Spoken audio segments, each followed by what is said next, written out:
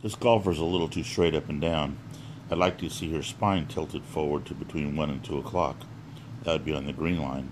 And you'd see how that would put the club shaft parallel or perpendicular to the spine angle. What she does here is even gets more vertical on her takeaway. It's way up high. And if she was bent over a little bit further, had a little more forward tilt, she'd be in a better position. Comes down to the ball pretty nicely from that aggressive. See how far under the club her right hand is, how open the face of the club is, how she's leading the shot with the hosel.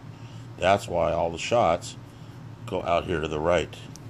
Let's clear this out of the way so we can find the golf ball. There it is. See it? Out there to the right?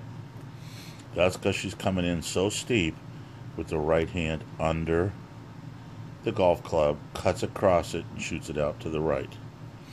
Get a little more tilt forward.